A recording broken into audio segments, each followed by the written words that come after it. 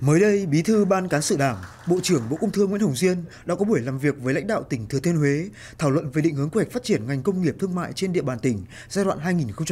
2021-2030, tầm nhìn đến năm 2050. Tại buổi làm việc, đồng chí Phan Quý Phương, Phó Chủ tịch Ủy ban nhân dân tỉnh Thừa Thiên Huế đã báo cáo về tình hình phát triển kinh tế xã hội của tỉnh Thừa Thiên Huế năm 2021 và định hướng quy hoạch phát triển ngành công nghiệp thương mại trên địa bàn tỉnh giai đoạn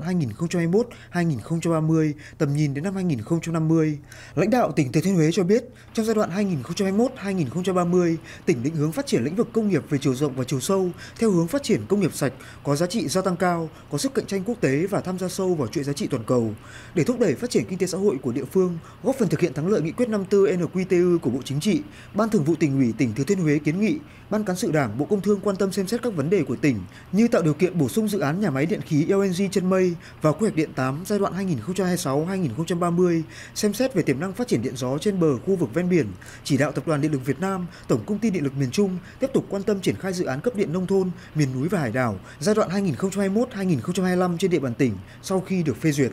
Bên cạnh đó, lãnh đạo tỉnh Thừa Thiên Huế cũng bày tỏ mong muốn Ban cán sự Đảng Bộ Công Thương chỉ đạo xem xét đưa trung tâm logistics tại khu kinh tế chân mây Lăng Cô vào quy hoạch quốc gia, quan tâm và ủng hộ đề xuất xây dựng đề án khu công nghệ cao Thừa Thiên Huế.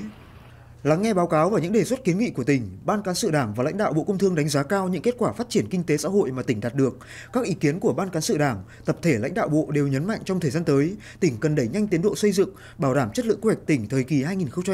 2021-2030, tầm nhìn 2035 phù hợp, đồng bộ với quy hoạch tổng thể quốc gia, quy hoạch vùng và quy hoạch ngành quốc gia. Trong đó, tỉnh cần ra soát kỹ nội dung quy hoạch phát triển công nghiệp và thương mại, xác định vị trí, vai trò của Thừa Thiên Huế trong khu vực Bắc Trung Bộ cũng như cả nước, phát huy tiềm lực để tập trung phát triển các ngành thế mạnh của tỉnh để đưa vào tích hợp trong quy hoạch tỉnh. Với những kiến nghị cụ thể liên quan đến quy hoạch phát triển năng lượng, mở rộng các khu công nghiệp, khu công nghệ cao, dịch vụ logistics, Bộ trưởng Bộ Công Thương Nguyễn Hồng Diên cho biết, Bộ Công Thương nhất trí về những mục tiêu, định hướng phát triển kinh tế xã hội của tỉnh giai đoạn 2021-2030, tầm nhìn 2050. Bộ Công Thương sẽ tiếp tục phối hợp với Bộ Kế hoạch và Đầu tư, Bộ Khoa học và Công nghệ và chỉ đạo các đơn vị thuộc bộ phối hợp và hỗ trợ tỉnh trong quá trình triển khai thực hiện chiến lược phát triển kinh tế xã hội của địa phương, phù hợp với chiến lược và quy hoạch phát triển kinh tế của đất nước, tuân thủ định hướng và chỉ đạo của chính phủ trong các lĩnh vực, đặc biệt là năng lượng, công nghiệp, thương mại,